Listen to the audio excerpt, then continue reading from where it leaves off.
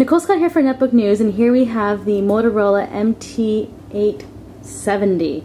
Uh, this is actually a China-specific phone, and the reason I'm pretty excited about it, other than its lovely glossy display where you can see me looking at myself through the camera, uh, is that this is actually uh, the Motorola Atrix, but basically for the China market.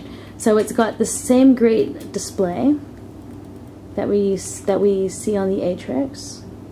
Let's open this up. Ooh. As you can see, my phone skills are great. Um, and you can see that the design is very reminiscent of uh, the Atrix, uh, except for a few, a few, uh, definitely a, few modifications.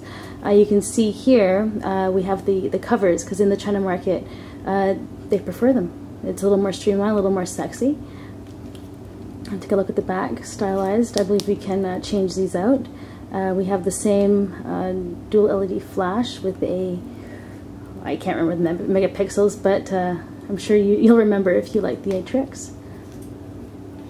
And the interesting thing about this phone is that it, since it is for the Chinese market, if we flip onto this screen, you'll see there we've got options for the TD-CDMA, which is the local um, Chinese version of 3G, and then also has GSM and you can do Edge. So if you were to buy this, you would be able to use it globally. So this has been a quick look at the MT870. Right, and on this side you can see there's the volume rocker. And then up at the top we've got the power buttons, a little lanyard there for attaching, and looks like a headphone jack.